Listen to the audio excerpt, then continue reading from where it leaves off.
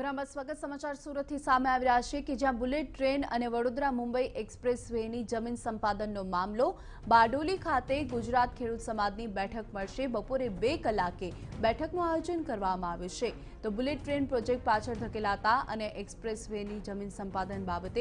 આ બેઠકનું આયોજન કરવામાં આવ્યું છે મતનું છે કે નૌસાર જિલ્લામાંથી પસાર થતી બુલેટ ટ્રેન પ્રોજેક્ટનો ખેડૂતોએ જોરદાર વિરોધ કર્યો છે અને જો સરકાર યોગ્ય વળતર નહી આપે તો ખેડૂતોએ ઉગ્ર આંદોલનની પણ ચીમકી ઉચ્ચારી છે હાલ બુલેટ ટ્રેન માટે 400 જેટલા ખેડૂતોની 500 એકર જમીન સંપાધન માટેની કામગીરી ચાલી રહી છે જે કે વર્તનના મુદ્દે કામગીરીમાં વિવાદ સર્જાયો છે ત્યારે ખેડૂતોય બેઠક યોજીને યોગ્ય વર્તનની માંગ કરી છે અને ચીમકી ઉચારી છે કે જો યોગ્ય વર્તન નહીં ચૂકવામાં આવે તો ખેડૂતો ન્યાય માટે કોઈ પણ માર્ગે જઈ શકે છે